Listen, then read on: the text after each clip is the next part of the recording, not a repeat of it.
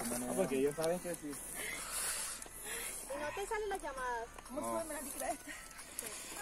La vía que comunica a Valledupar con Pueblo Bello se caracteriza por las curvas empinadas y varios accidentes se han presentado en ese tramo. El domingo pasado, un grupo de ciclistas decidieron recorrer dicho sector, pero en el descenso, una fémina perdió el control de la bicicleta y colisionó contra el asfalto, sufriendo graves heridas a la altura de la cabeza y en otras partes del cuerpo. Los acompañantes de la femina identificada como Jenny Milet Duarte Pacheco la auxiliaron y la condujeron a un centro asistencial de la capital del Cesar, donde fue sometida a varios procedimientos quirúrgicos.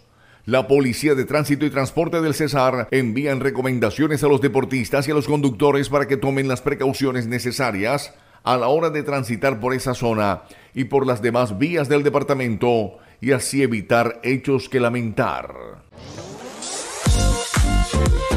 Avipulet de la Costa, empresa vallenata. Precio y calidad de nuestros productos. Pescadería fresca y al mejor precio. Cerdo de la mejor calidad en sus diferentes presentaciones. Frutos del mar.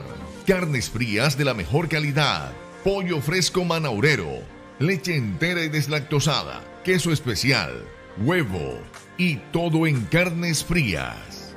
Contáctanos a nuestras líneas y solicita tu domicilio al 318-789-9708, 574-8405 o a través de www.avipulet.com.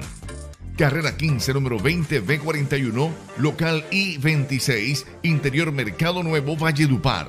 Avipulet de la Costa.